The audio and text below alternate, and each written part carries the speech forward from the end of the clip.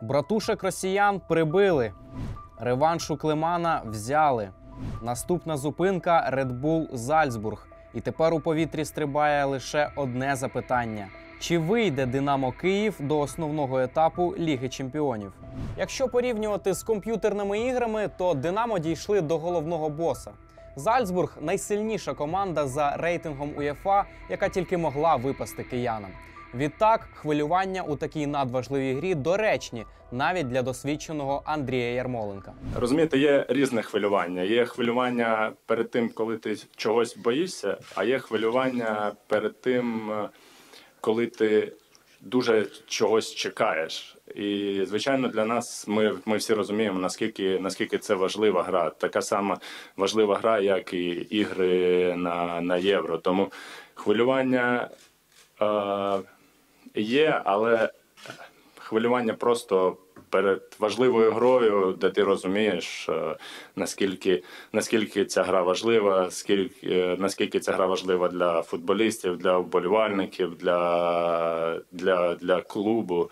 Тому, звичайно, готуємося в нормальному, спокійному режимі. І найголовніше завтра вийти та показати і віддати всі, всі сили на футбольному полі.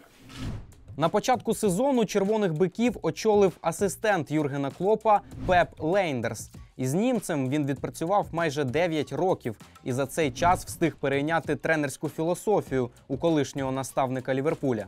Знаменитий гегенпресинг, інтенсивна робота з м'ячем, висока лінія оборони. Однак найцікавіше те, наскільки молодим складом вони грають. Середній вік команди не дотягує навіть до 22 років. А серед основного складу в центрі поля та в атаці найстаршим є Мац Біцтруп, йому 23. Усім іншим з цих ланок не більше 21. В захисті середній вік дещо більший, а на воротах стоїть 33-річний Яніс Бласфіг. Він же наразі є і капітаном команди. Загалом в Європі важко знайти молодший ростер. У попередньому сезоні в лізі чемпіонів Зальцбург вже був наймолодшою командою, але це лише початок. У австрійській бундеслізі молодших команд немає. У топ-5 лігах Європи теж немає. Якщо брати вищі дивізіони усіх країн Європи, то можна знайти лише з десяток команд, які є молодшими за середнім віком. До слова, однією з таких команд є Львівський рух.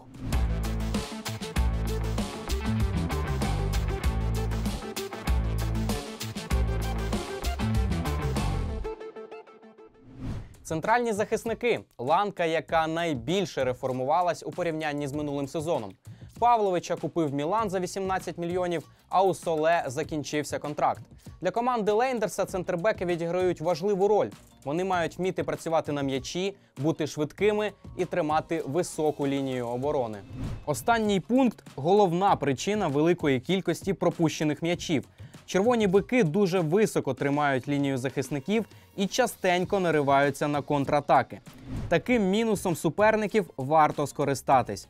Для цього треба кликати прутконого Ваната, який нарешті забив на вихідних свій перший м'яч з гри в сезоні. В загальні був гарний настрій, всі замучені і е, е, раді, що перемогли. І на даний момент це найважливіше.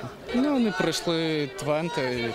На, на цій стадії вже немає простих суперників, тим більше на кону вихід в Лігу Чемпіонів. І буде дві гарних гри.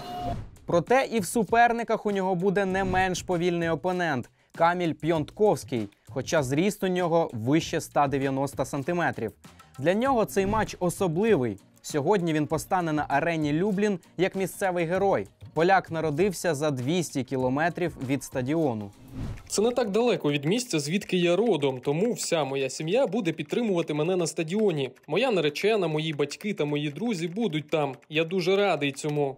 На вихідних Зальцбург провів перший матч у сезоні, в якому не пропустив. Перемогли Ласк з рахунком 1-0. Хорошу гру центрбеків відзначав і головний тренер. Однак, здебільшого червоні бики грають у футбол, в якому і забивають багато, і пропускають пристойно. У цьому сезоні вони, як і кияни, ще не програвали, і в середньому обидві команди забивають приблизно по три голи за гру. Отже, буде весело. З приходом Пепа Лейндерса Зальцбург стали грати в дещо інший футбол. Колишній асистент Клопа переформатував схему австрійців на звичну до ліверпульської з широкими вінгерами. Хоча до цього команда взагалі грала з ромбом в центрі поля і з двома центральними нападниками. Зараз же іноді на флангах грають номінальний центральний нападник Нене та атакувальний півзахисник Оскар Глух, який у свої 20 років коштує 25 мільйонів євро. А з приходом Пепа розкривається ще більше. Щодо останніх новин у киян, на цей матч дозаявили Рубчинського, а вилучити із заявки довелося травмованого Пономаренка. У нього проблеми з гомілкостопом. Проблеми можуть бути і з погодніми умовами в Любліні під вечір. За прогнозом, має бути дощ. Чи вплине такий перебіг подій на матч, аналізував Олександр Шовковський. Ми в першу, в першу чергу готуємося до е, гри, о, розуміючи, з яким суперником будемо грати, розуміючи їх сильні е, сторони, безумовно е, намагаємося знайти слабкі. І, е, а в погодні умови це вже, як то кажуть, не від нас залежне. І безумовно треба міцно стояти на ногах, а все інше це вже е, як футбольний бог розпорядиться. Як у Шовковського, так і у Лейндерса це лише другий сезон у якості головного тренера. Хто ж виявиться досвідченішим і переграє опонента у битві молодих тренерів? Чекаю на вашу думку у коментарях. Нагадую, що партнером нашого проєкту є компанія Favbet Гра розкриває тебе. Ну і не забувайте підтримувати нас вподобайкою і підписуйтесь на Футбол Хаб, аби бути на зв'язку з футболом. Переможного вам вечора! Дякуємо за перегляд. Дивіться інші наші відео. Для цього перейдіть на них у правій частині екрану. Підписуйтеся на канал Футбол Хаб і дивіться огляди усіх матчів української прем'єр-ліги.